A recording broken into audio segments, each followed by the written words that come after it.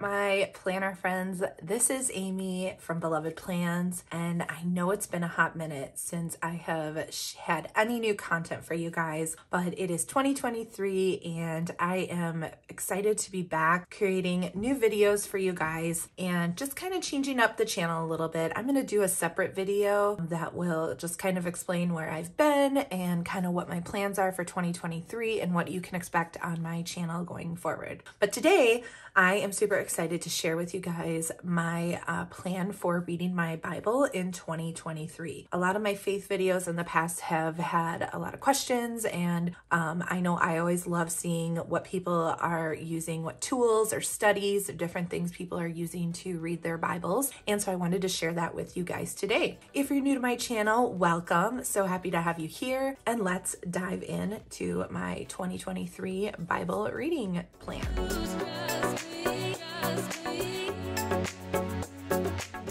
All right, well, first things first, I wanted to just share with you guys the Bible I am planning to use once again this year. Um, this is the NLT, so the New Living Translation Life Application Study Bible. This is the second one of these that I have gotten. My first one was a few years back, and I have a lot of different Bibles, and I'll link to a video where I show you guys some of them um, from previously. And um, I like to use this one for when I'm doing Bible study because down in the bottom section of it, it has a little little notes section that explains just kind of like backstory or meanings of the verses or just gives you a little bit more context to help better understand what is being said. So I really love using this Bible. Uh, again, it's called the Life Application Study Bible uh, for when I do Bible studies. So that's the Bible I plan to use. I will link to it down in the description below in case you'd like to check it out. They have tons of gorgeous covers, different styles. If you want a smaller one, a bigger one, a hardcover, soft cover. I have a leather soft cover one here and it's held up really well. I've had it for um, a couple of years now. So that is the Bible I will be using once again this year. Oh, and my tabs here are from the Daily Grace Co. Um, I've gotten a lot of tabs from them. Uh, I lead a middle school ministry group called WyldLife and I gave all of the eighth grade girls that I'm currently uh, working with Bibles for their birthdays and I put tabs on them and I got all the tabs from the Daily Grace Co. So I will link to those as well down in the description in case you want to check them out. They're really, really beautiful. And I know for me, I love uh, the ease of having tabs in my Bible to easily find different books in the Bible because I don't have them all memorized yet. So, so the first thing I'll be doing this year, again, I did actually start using the Bible recap. Um, it's a one year guide to reading and understanding the entire Bible Bible, and it's actually in a chronological order. So you don't start necessarily in Genesis and just go all the way through Revelation in that order. You go in a more chronological order,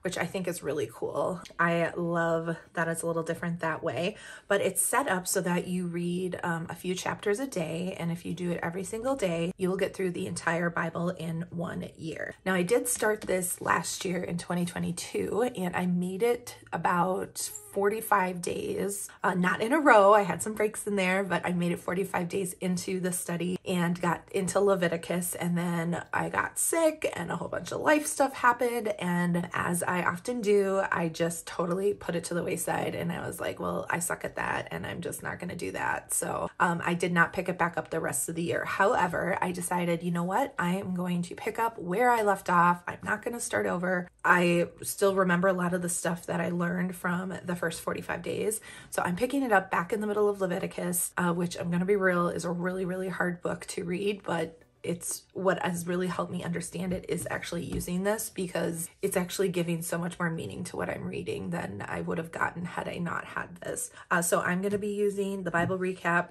if you want to check it out, I'll link to her website. There's a lot of different ways you can actually do this study. You don't have to buy the hard copy book, um, but basically the way it works is um, I did obviously choose to get the hard copy book. And um, so like for today, I will be on Leviticus 22 through 23. So I will read those chapters in my Bible. Then I typically will come here and I will read her summary. So she just, it's like two pages for every single day. It's not more than that. Read read her summary, and then there's always what she calls a God shot that she keeps in there as well.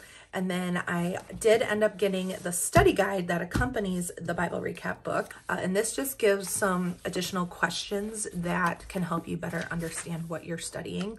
So, like for day 51, it's got just four questions. So, all in all, it takes me about 20 minutes or so, just depending on how many chapters I'm reading that day. But I've been doing it first thing in the morning, and it's been really, really good to get into the Word on a daily basis and just start my day off that way. Um, I really love it. If you don't want to deal with these ginormous books or you want to do it more on the go, in the Bible app, she also has the Bible recap set up as a reading plan in the Bible app, so you can do it that way. Then there's also a podcast where she basically, I believe she is actually just reading the every day is like so if it's like you know day 10 then it'll have day 10's thing and she will literally read this on the podcast and the God shot. Um, so that's a really cool way to do it. Like maybe if you want to do it on your commute to work, or if you're sitting in the school drop off line, or if you have just a pocket of your day where it's easier to do audio stuff versus like sitting down with an actual book, the podcast is really, really awesome to do as well. And I did that actually when I was traveling last year and didn't wasn't able to like lug this ginormous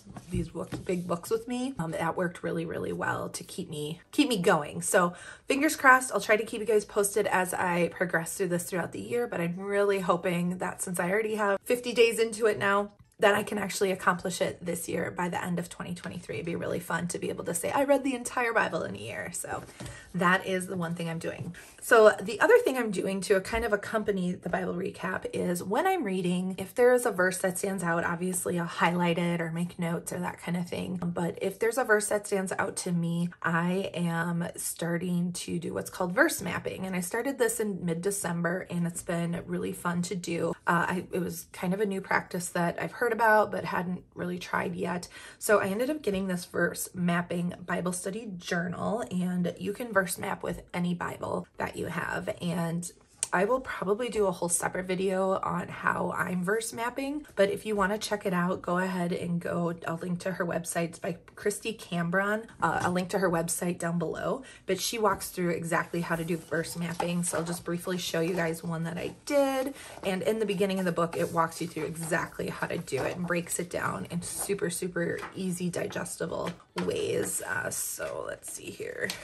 Um, so like the first one I did was Luke 137 for the word of God will never fail. What's cool is you look up that verse in different translations and then you define some of the words based on uh, the Greek or the Hebrew uh, word of those things and then you do a little bit more in-depth exploration of the verse. Not going to go into a ton of detail of it. Again, I think I'll do a separate video showing you guys how I do that. But verse mapping is something I definitely want to do uh, to help me just get a little bit more meaning out of what I'm reading. Those are the things that I am planning to use this year in my Bible study. I know I'll probably have some other studies that I'll incorporate throughout the year. But as far as my day to day, one of my goals for the year is daily time in the Word uh, whatever that looks like, if it's on an app or if it's here. Um, I'm super excited to be able to do the Bible recap and dive in. Let me know in the comments below if you guys have anything particular that you're using this year to study your Bible or how you plan to get into the Word every single day. I would love to hear what your ideas are. So thank you so much for watching, and I am super excited to bring you guys some new content this year, and I hope you'll be back soon.